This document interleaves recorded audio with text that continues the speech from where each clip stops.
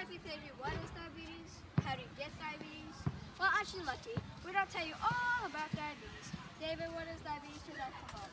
Diabetes is a disease that causes the insulin to not control the sugar or glucose. Okay.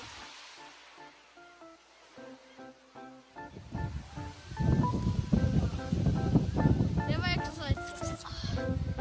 Always dizzy. Oh, Always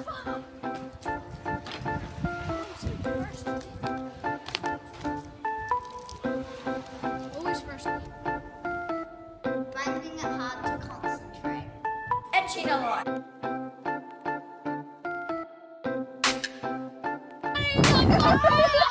Never